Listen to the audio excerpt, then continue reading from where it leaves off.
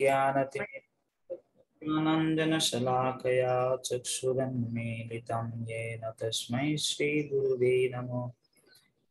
नमो ॐ विष्णुपदाय कृष्णपृष्ठाय भूतले श्रीमते भक्तिवेदान्त स्वामिनिति नामिने नमस्ते सरस्वती देवे, गौरवाणी प्रचारिणे निर्विशेषशून्यवादी पाश्चात्यदेशतारिणे हे कृष्ण करुणा सिन्धु दीनबन्धु जगत्पथे गोपेश गोपिका कन्तो राधाकन्त नमस्तुते तप्त काञ्चन गौराङ्गी राधे वृन्दावनेश्वरी विश्वभानुसुते देवी प्रणमामि हरिप्रिये जय श्री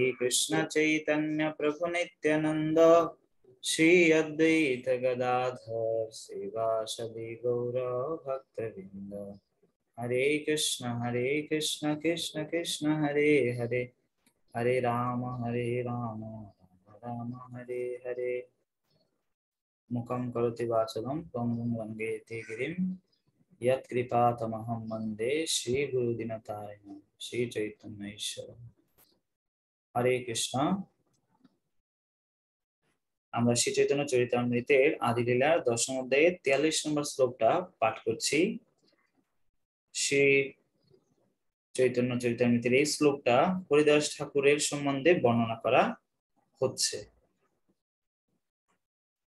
ছিল কৃষ্ণদাস কবিরাজ গোস্বামী খুব সুন্দরভাবে বর্ণনা করেছেন। হরিদাস ঠাকুর সাকার অদ্ভুত চরিত তিন লক্ষ নাম দেহ লয়ে নপতিত কি বলছেন? অনুবাদ।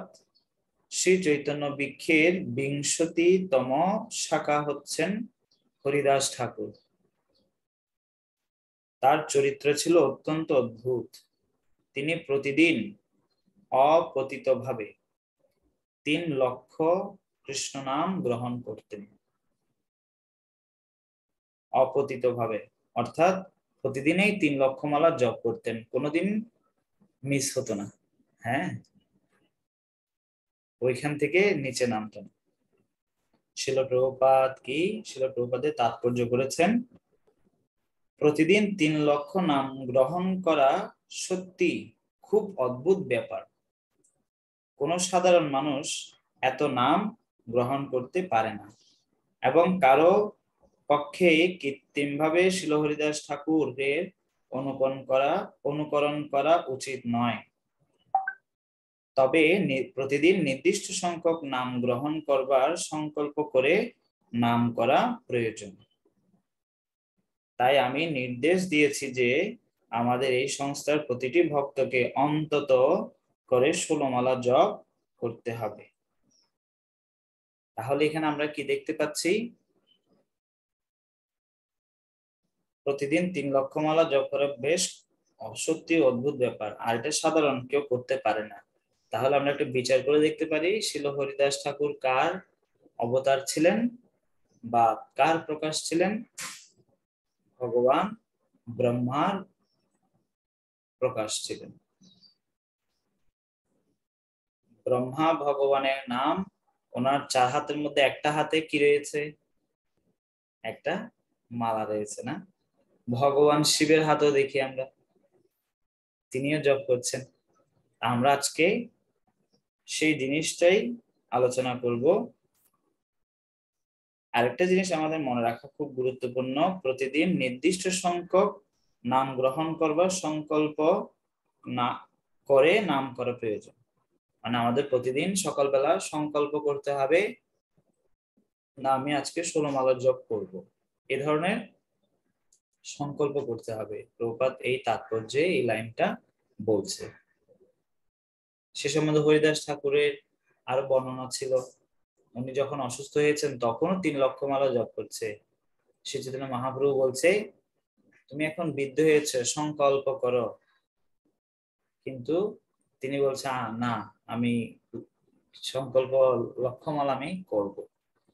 যাই হোক, আজকে আমাদের যে আলোচ্য বিষয় কীর্তন বান।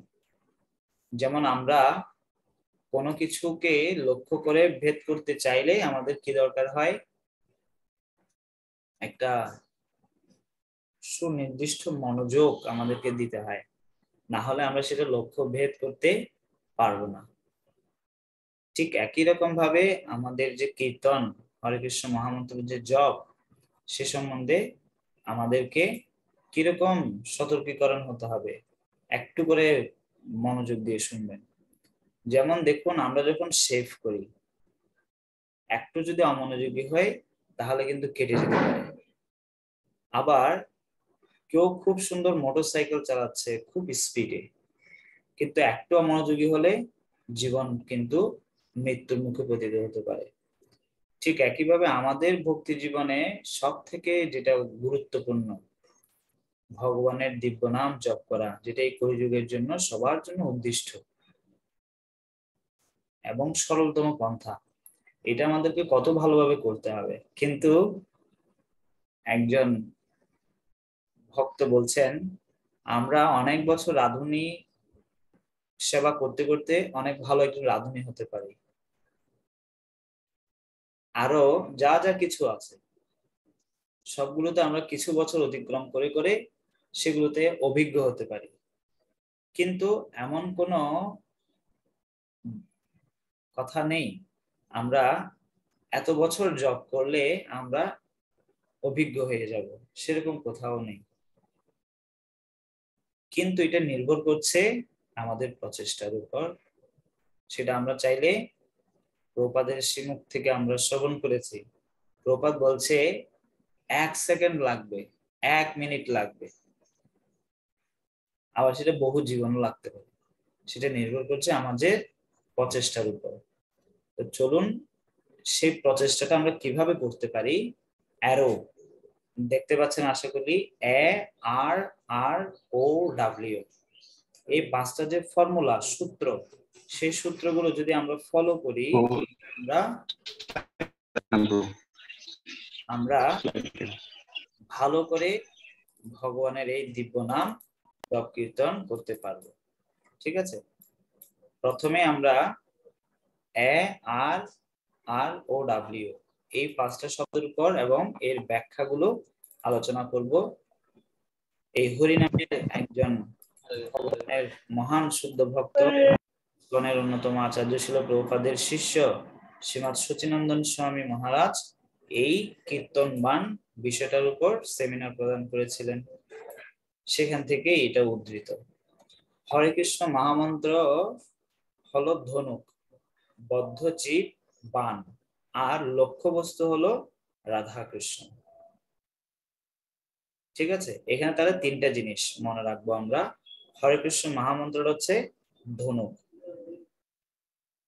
আর বানটা হচ্ছে কি? বদ্ধ জীব। আর লক্ষ্যটা কি? লক্ষ্যটা হচ্ছে রাধা কৃষ্ণ।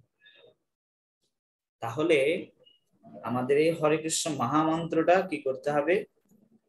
ঠিক রাখতে হবে মালাটা। আর বদ্ধজীবটা হচ্ছে বান। এটা ঠিক ঠিক ভগবানের কাছে পৌঁছবে। কি করলে? ওই ঠিক ঠিক ভাবে আমরা যদি ভগবানের নামটা জপ করি। কিন্তু আপনি যদি একটু ধরে অসতর্ক হন, তাহলে আপনার লক্ষ্য বস্তুতে আপনি ভেদ করতে পারবেন না। সেজন্য এই জিনিসটা আমাদেরকে মনে রাখতে হবে, তিনটা জিনিস। মহামন্ত্র হচ্ছে ধনুক, আর বদ্ধজীব হচ্ছে শুদ্ধ জীব বান আর লক্ষ্যবস্তু হচ্ছে রাধা কৃষ্ণ এই মহামন্ত্র ধনুকের সাথে তুলনা করা হচ্ছে, আর একশো আটটা গুটি ইসের মধ্যে রয়েছে। আমাদের মনটা সেটা অনেক বেশি শক্তিশালী এবং দুর্দমনীয়। সেটাকে যদি আমরা ভালোভাবে না ধরতে পারি, তাহলে কিন্তু এটা নিয়ন্ত্রণ করা বেশ কঠিন। যেমন মা সীতা যখন হরদনু অনায়াসে তুলে ফেলেছে, কিন্তু সেটা অন্য কেউ আর তুলতে পারছে না। ঠিক একইভাবে আমরা যখন ভগবানের নাম জপ করি, মালাটা হাতে নেই, মনে হয় যে যেন দুনিয়ার যত সমস্ত চিন্তা আছে আমাদের মাথার মধ্যে চলে আসে। যত সমস্ত আলস্যতা আছে, সব চলে আসে। খুব একটা কঠিন কাজ করার জন্য আমরা মনে হয় যাচ্ছি, তাই না? মালাটা কিন্তু খুব হালকা, কিন্তু মনে হয় জব করার সময় যখন আমরা মালাটা তুলি, তখন আমাদের কাছে এটা খুব ভারী মনে হয়, খুব বোঝা মনে হয়। হ্যাঁ যেভাবে মাতা সীতা হরদন তুলতে অনায়াসে কিছু করতে হয়নি, কিন্তু এটা অন্য কেউ তুলতে পারতো না। আমরাও গুরুদেবের কৃপায় এই মালাটা পেয়েছি, কিন্তু মালাটা তুলতে কিছু জিনিস আপনাকে ফলো করতে হবে।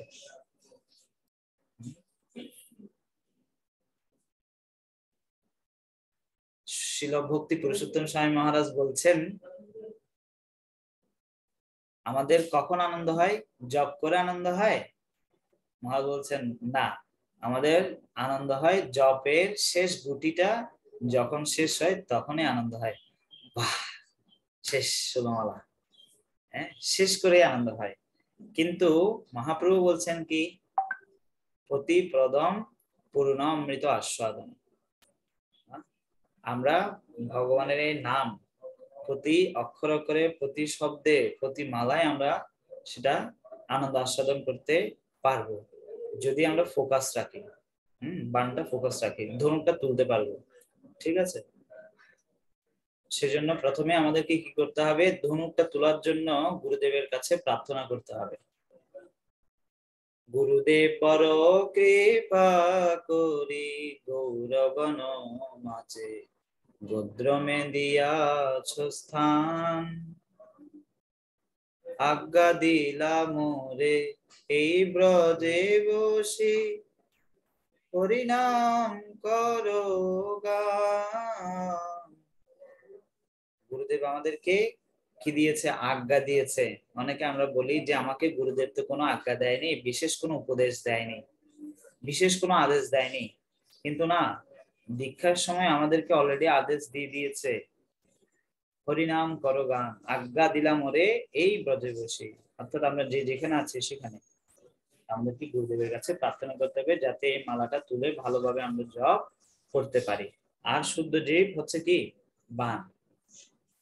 এই বানটা যেমন দেখবেন, রামায়ণ, মহাভারত, যখন আমরা ভিডিও দেখি, তখন দেখি সেটা এক একটা বান কি করছে, ছুটছে, আর এক এক প্রকারের অস্ত্র নির্গত হচ্ছে, তাই না? তো ঠিক একইভাবে বান থেকে আমরা কি শিক্ষা লাভ করতে পারি? আমাদেরকে মায়া দেবী যখন জব করতে বসবো, তখন আমাদেরকে বিভিন্ন বান ছুড়বে, ঠিক আছে? কিন্তু যুদ্ধটা দুই দিক থেকে হয়। একদিক থেকে শত্রু বান মারে, ধরুন আগুনের বান মেরেছে। তাহলে প্রতিপক্ষ কি বান মারবে? জলের বান মারবে। তাই না? তো ঠিক একইভাবে আমাদেরকে মায়াদেবী মন চঞ্চল করে হোক, পরিবেশ উত্তেজিত করে হোক বিভিন্ন ভাবে আমাদেরকে মন কি করতে পারে? বা মায়াদেবী আমাদেরকে বিভিন্ন ভাবে আক্রমণ করতে পারে। কিন্তু আমাদেরকে ভগবানের, গুরুদেবের, বৈষ্ণবের স্মরণ করে করে আমাদেরকে এই যুদ্ধে রাখতে হবে। মাম অনুস্মরা যুদ্ধ ঠিক আছে? আমরা ভগবানকে স্মরণ করেই যুদ্ধ করব। তাহলে আমরা জয়ী হতে পারব অর্জুনের মতো। ঠিক আছে? কৃষ্ণ বলছে, তুমি যুদ্ধ করো, ঠিক আছে, কিন্তু আমাকে স্মরণ করে যুদ্ধ করবে। আমরা বান মারছি না, যুদ্ধ করছি। হ্যাঁ কত কষ্ট করছি মনের সাথে হোক, পরিবেশের সাথে। আমাদেরকে ভগবান স্মরণ ব্যতীত শাস্ত্র অধ্যয়ন এবং হরিনাম জপ হচ্ছে কিসের সাথে তুলনা করেছে? সম্রাট কুলশেখর দুইটা তুলনা দিয়েছে। যদি কেউ ভগবানের স্মরণ ব্যতীত শাস্ত্র অধ্যয়ন করে, সে তার শাস্ত্র অধ্যয়নটা হচ্ছে অরণ্যে রোদন করার মতো। তার রোদন কেউ শুনতে পাবে না। আর তার তপস্যা বা হরিনাম জপ কেবল ভুরি কমানোর জন্য। একটু কঠিন করেই বলছেন। সেটা কোনো কাজে আসবে না। শ্রীমতী দেবকী দেবী মাতাজি, তিনি বলেছেন অ্যান্টি ক্যাপসুল ক্যাপসুল আছে ক্যাপসুলের ভিতরে যদি কোনো উপাদান না থাকে, তাহলে সেটা আমাদের কোনো উপকারে আসবে না। ঠিক একইভাবে শিল প্রভুপাত আদিলীলার, চৈতন্য চৈতন্য আদিলীলার দশম অধ্যায়ে তিয়াল্লিশ নম্বর শ্লোকে তাৎপর্যে লিখেছে, যন্ত্রের মতো নাম গ্রহণ করা অপরাধ শূন্য হয়ে নাম গ্রহণের মতো এত শক্তিশালী নয়। আমরা হয়তো নাম জপ করছি করছি করছি, কিন্তু এটা হচ্ছে যান্ত্রিকতাপূর্ণ। যদি সেখানে প্রীতি না থাকে, ঐকান্তিকতা না থাকে ভাব না থাকে, ভগবানের প্রতি ঐকান্তিকতা না, ভাব না থাকে, স্মরণ না থাকে, কেবল যান্ত্রিকতা হবে সেটা। ছিল প্রভুপাদের এক প্রবচনে প্রভুপাদ বলছে, হরে কৃষ্ণ হরে কৃষ্ণ কৃষ্ণ কৃষ্ণ, হরে হরে হরে রাম হরে রাম রাম রাম, হরে হরে। ছিল প্রভুপাদ বলছে হ্যাঁ চেতাচ্ছ কেন? অর্থাৎ আমরা যে নাম জপটা করছি আচ্ছা কেন ডাকছো? রাধা কৃষ্ণ এসে, বলরাম এসে জিজ্ঞেস করছে। কি চাই? এখন আমি যদি কি নাম জপ করছি, কি করছি সেটা আমি নিজেই জানি না। শুধু জাস্ট এমনি মৌখিক ভাবে ইয়া করছি। তাহলে ওনারা এসে তো ফিরে চলে যাবে। তাই না? তো মনোযোগ সহকারে, ঐকান্তিকতা সহকারে, ধীরতা সহকারে, নিষ্ঠা সহকারে আমাদেরকে ভগবানের নাম জপ করতে হবে। লক্ষ্য বস্তু আর তখনই প্রাপ্ত হতে পারব লক্ষ্য বস্তু যেমন আপনার ফুটবলের যে বার আছে, সেই বারটা যদি না থাকে শুধু ফুটবল খেলে, তাহলে লক্ষ্য বিহীন যে খেলা, এটা কোনো লাভের হবে? হবে না। আমরা এই ভগবানের নাম কেন জপ করছি? A R R O W arrow. এই শব্দটা মনে রাখব, ঠিক আছে? প্রথমে আমরা মনে রাখব বান, ধনুক এবং লক্ষ্য বস্তু এই তিনটে জিনিস আমরা মনে রাখব, ঠিক আছে? এটা ভালো করে বুঝতে পারলে এর পরেরগুলো আমরা ভালোভাবে আশা করছি উপলব্ধি করতে পারব। ওকে। প্রথম হচ্ছে অ্যালাইনমেন্ট বিন্যস্তকরণ, সম্পূর্ণ উপস্থিতির সাথে। দেহ, মন ও হৃদয়কে সমরেখায় স্থাপন করুন, অপরাধ বর্জন করুন। শ্রীপাদ নারুগোপাল প্রভু বলছিলেন, আমাদের কি করতে হবে? কান দিয়ে শ্রবণ, জিহ্ব দিয়ে সঠিক উচ্চারণ, সঠিকভাবে মেরুদণ্ড বসা, এই জিনিসগুলো খুবই গুরুত্বপূর্ণ। কেন? আমরা যখন সোজা হয়ে না বসি, তখন আমাদের যে শ্বাস প্রশ্বাসের যে প্রক্রিয়া, সেটা ঠিক মতো হয় না। তখন নিদ্রা বা তন্দ্রা আসতে পারে, শারীরিক প্রতিবন্ধকতা আসতে পারে এবং পা ইত্যাদি ব্যথা করতে পারে। সে গৌতম বুদ্ধদেব, তিনি হাঁটার সময় খুব সুন্দর করে হাঁটতেন, বসার সময় খুব ভালোভাবেই বসতেন। ছিল ভক্তি সিদ্ধান্ত সরস্বতী ঠাকুর ঠিক সেরকম, প্রভুপাদের ক্ষেত্রে সেরকম, আমাদের আচার্যরাও ঠিক সেরকম। আমরা যখন জব করতে বসবো, তখন সেটা যাতে কি হয়? খুব সুন্দরভাবেই যাতে বিন্যস্তকরণ সুন্দরভাবে যাতে আমরা বসি।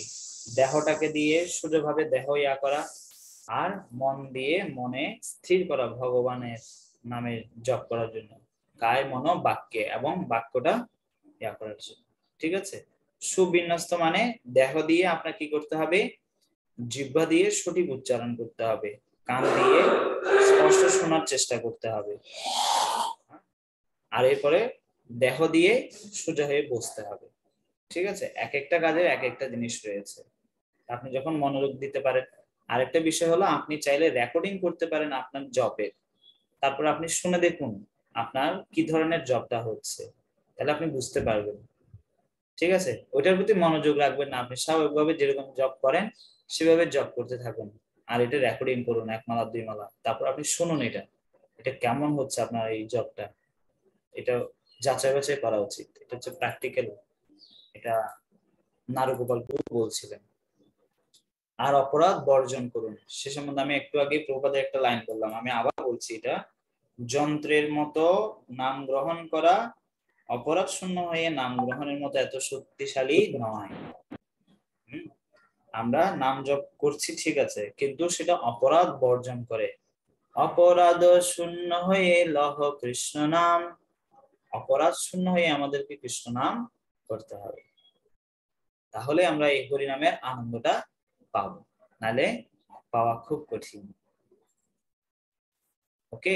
তারপর হচ্ছে দ্বিতীয় রিলেশনশিপ সম্বন্ধ। রাধা কৃষ্ণের সাথে আপনার নিত্য সম্বন্ধের ব্যাপারে সজাগ থাকুন। এই সম্বন্ধে অনুশীলনের দ্বারা নিজেকে সিক্ত করুন। হ্যাঁ আমাদের সাথে, ভগবানের সাথে যে আজীবন একটা নিত্য সম্বন্ধ রয়েছে।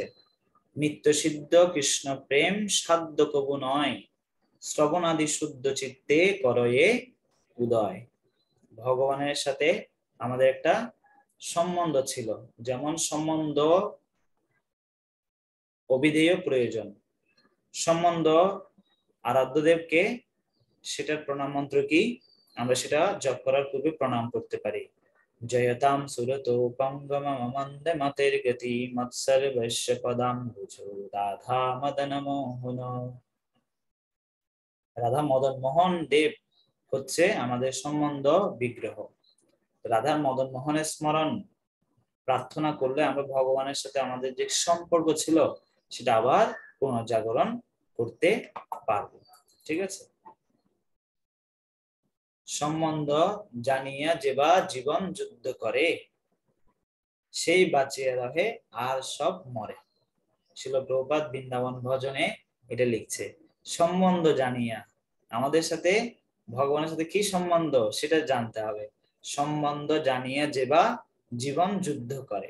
আমাদেরকে জীবন যুদ্ধ করতে হলে, ভক্তি জীবনে থাকতে হলে সম্বন্ধটা কি ভগবানের সাথে? বৈষ্ণবের সাথে আমার কি সম্বন্ধ? গুরুদেবের সাথে আমার কি সম্বন্ধ? এগুলো ভালো করে জানতে হবে, ঠিক আছে? এরপর জানলাম আর আর দিয়ে জানলাম। এরপর হচ্ছে রেন্ডারিং সার্ভিস ভগবত সেবা কার্য সম্পাদন, প্রেমপূর্ণ সেবা ভাব নিয়ে নাম গ্রহণ করুন, হরিনামের মাহাত্ম নিয়ে অন্যদের সাথে আলোচনা করুন। আমরা এটা কেন আলোচনা করছি? যাতে আমরা হরিনামের মহিমা যত বেশি শ্রবণ করব, তত বেশি হরিনামের প্রতি আমাদের অনুরাগ বৃদ্ধি হবে। একটা সম্বন্ধ আছে, সেটা কি? রেন্ডারিং সার্ভিস আমরা ভগবানের নাম জপ করছি। জপ করার মানেটা কি? হরে মানে হচ্ছে শ্রীমতী রাধারানী। কৃষ্ণ মানে সর্বাকর্ষক কৃষ্ণ, আর রাম মানে সর্বানন্দায়ক রাম। এই তিনটা শব্দের মাধ্যমে কি বোঝানো হচ্ছে? হে রাধারানী, হে কৃষ্ণ, হে রাম, আপনারা আমাকে আপনাদের সেবায় নিয়োজিত করুন। ঠিক আছে? সেবা দাও সেবা দাও সেবা দাও। এভাবে করে প্রার্থনা করছি না। তো যখন আমাদের সেবা আসে, তখন আমাদের একটু কষ্ট হয়, সেটা রিসিভ করতে, ঐকান্তিক ভাব নিয়ে, প্রেম সহকারে। কিন্তু আমরা যখন খুব গভীরভাবে চিন্তা করব, বৈকুণ্ঠে কোটি কোটি লক্ষ লক্ষ লক্ষ্মী দেবী দাঁড়িয়ে আছে ভগবানের সেবা করার জন্য। হ্যাঁ? তারপরে আমরা আরও দেখি রাজা প্রতাপ, রুদ্র রুদ্র। তিনি ঝাড়ু সেবা দিয়ে ভগবানের কৃপা লাভ করেছে। তারপরে শিল প্রভুপাত তিনি কি করেছেন? পাশ্চাত্যবাসীদেরকে প্রথমে সেবা করেছেন। তারপর আমাদের আচার্যরা কি সেবা প্রদান করে যাচ্ছেন? তাহলে এগুলোর মাধ্যমে আমরা কি বুঝতে পারি? আমাদেরকে ভগবানের সেবাটা আমরা যত হৃদয় দিয়ে করব, তত বেশি আমাদের হরিনামের প্রতি রুচি আসবে। আবার যত হরিনামের প্রতি রুচি আসবে, তত আমরা ভালো সেবা করতে পারব। ঠিক আছে? এটা একটা একের সাথে সম্বন্ধ যুক্ত। হরিনাম জপ করে আমরা কি বলছি ভগবানের কাছে? ওনার সেবায় লাগানোর জন্য বলছি। তখন যখন সেবা আসছে, তখন সেটা প্রেম দিয়ে করতে হবে। ভগবত গীতায় দশম অধ্যায় দশ নম্বর শ্লোকে ভগবান কি বলছেন? তেষাম সতত যুক্তানাম ভজতাম প্রীতিপূর্বকম। ভগবানের সেবাটা করতে বলছে সব সময় কি দিয়ে? প্রীতিপূর্বকম। প্রীতি দিয়ে করতে হবে। এই জগতে সবাই কাজ করে, কিন্তু প্রীতিটা এর মধ্যে খুব কমই আছে। আমরা প্রীতি দিয়ে করলে ভালো। তাহলে সেটাই কি হবে? এর ফলাফলটা কি? দদামি বুদ্ধি যোগান্তাম। ভগবান আমাদেরকে বুদ্ধি দেবে। কি জন্য বুদ্ধি দেবে? মাম উপজান্তিতে ভগবানের কাছে আমরা যাতে ফিরে যেতে পারি, সেজন্য তিনি আমাদেরকে বুদ্ধি দিবেন। ঠিক আছে? ওকে আর দিয়ে জানলাম এবং নেক্সট আর ওপেনিং দি হার্ট গৌরচন্দ্র যে বিরহ আকাঙ্ক্ষায় ভাব নিয়ে কীর্তন করতেন, আপনিও সেভাবে অনুসরণ করার চেষ্টা করুন। মহাপ্রভু কি বলছেন? সবসময় যুগায়িতং নিমিষেণ চক্ষুষা প্রবিশায়িতং সুন্নয়িতং জগৎ সর্বম। গোবিন্দ বিরহে নামে। আমরা ভগবানকে কত জীবন ধরে ভুলে এই জগতে আছি, কত কষ্ট পাচ্ছি। কখন সেই ভগবানের প্রতি আমাদের ঐকান্তিকতা বাড়বে, ভগবানকে লাভের আকাঙ্ক্ষা বাড়বে। ধরুন আপনি কোন একজন প্রিয়জনকে বহুদিন ধরে দেখছেন না। হঠাৎ এখন আপনি খবর পেলেন যে তিনি আসছেন। তাহলে আপনার আকাঙ্ক্ষাটা কেমন হবে? দেখার অনেক আকাঙ্ক্ষা হবে। ঠিক সেরকম ভাবে কীরকম আকাঙ্ক্ষা করতে হবে? সেই ধরনের আকাঙ্ক্ষা করতে হবে। বাছুর যেভাবে তার মার কাছ থেকে অজাত পক্ষৈব মাতরম খগা স্তনম বৎসতরা কুদার্তা প্রিয়ম প্রিয়ৈব ভূষিতম ভূষণ্যা মনোহর বিন্দাক্ষে দিদিক্ষদেতাম ভাগবত বলা হচ্ছে, বাছুর যেভাবে মার জন্য দুগ্ধ পান করার জন্য আকাঙ্ক্ষিত করে থাকে। প্রবাসী স্বামীর জন্য স্ত্রী যেভাবে আকাঙ্ক্ষা করে ঠিক সেভাবে আমাদেরকেও ভগবানের সেবা করার জন্য আকাঙ্ক্ষা করতে হবে। ঠিক আছে? এই খুব, এই দৃষ্টান্তটা খুব গুরুত্বপূর্ণ। আমরা যদি ভগবানের অনুপস্থিতি অনুভব করি, তখন ভগবানের জন্য আমাদের এই ধরনের একটা বিরহ বা আকাঙ্ক্ষা কাজ করবে। আর এরপর হচ্ছে ওয়েলকাম দি ডিভাইন গিফট দিব্য উপহারকে স্বাগত জানানো। শরণাগতির ভাব নিয়ে অত্যন্ত ধৈর্যের সাথে নাম প্রভুর উপহারটি লাভের জন্য প্রতীক্ষা করুন। আমরা কখন গিফট পাই, যখন আমরা কোনো ভালো কিছু কারোর জন্য করতে পারি, তার শরণাগত হয়ে, তার অনুগত হয়ে। ভগবানের অত্যন্ত দয়ায়, কৃপায় আমরা এই হরিনামটা পেয়েছি। অন্যান্য যুগে কত কষ্ট করে ভগবত প্রাপ্তির পন্থা ছিল। কিন্তু এই যুগে দেখুন কত সহজ। যেখানে ইচ্ছে আমরা সেখানে নাম জপ করতে পারি, যে আশ্রমে থাকি, যে অবস্থায় থাকি, ছোট, বড়, যে কেউ করতে পারে। কিন্তু যোগ পন্থা, হিমালয় গিয়ে তপস্যা যোগ্য অর্চন, এটি সবাই কি পারে? সব জায়গায় পারে? সবাই পারে না এটা। এটা so difficult not for easy এটা খুব সহজ নয়। তো ভগবান আমাদেরকে যে পন্থা দিয়েছে, এটা অত্যন্ত সহজ। এটা যাতে আমরা অত্যন্ত মূল্যায়ন করি তাহলে আমরা যদি প্রতিদিন মূল্যায়নের সাথে যদি ভগবানের নাম এই জপ করি, তাহলে আমরা ভগবানের এই নাম প্রভুর যে গিফট সেই গিফটটা পাবো। সেই গিফটটা কি? প্রেম বিনা ব্যর্থ, দরিদ্র জীবন, দাস করি বেতন মরে, দেহ প্রেম ধন। আমাদেরকে প্রার্থনা করতে হবে, তাহলেই পাবো। সেটা কি? প্রেম বিনা ব্যর্থ, দরিদ্র জীবন। ভগবানের প্রতি প্রেম। বিনা আমাদের জীবনটা হচ্ছে ব্যর্থ। আর আমরা ভগবানের কাছে কি চাইব? দাস করি বেতন মরে দেহ প্রেম ধন। আমাকে সেই ধনটা দিন, দাস করে আমাকে সেই প্রেম ধনটা দিন। আমরা সেই উপহারটা পাবো। হরিনাম প্রভুর কৃপায়। হম? আমরা আবার শেষ একদম চলে এসেছি। আমরা কি আলোচনা করলাম? অ্যারো এর পাঁচটি সূত্র। Alignment, relationship rendering service opening the heart welcome the divine gift এই পাঁচটা সূত্র যদি আমরা স্মরণে রাখি, তাহলে আমরা নিশ্চয়ই ভগবানের কৃপায়, হরিনাম প্রভুর কৃপায় ভগবানের কাছে আমরা আমাদের এই প্রার্থনা পৌঁছাতে পারব এবং আমরা ভগবানের কাছে ফিরে যেতে পারব। হরে কৃষ্ণ হরে কৃষ্ণ। কৃষ্ণ কৃষ্ণ হরে হরে হরে রাম হরে রাম রাম রাম হরে হরে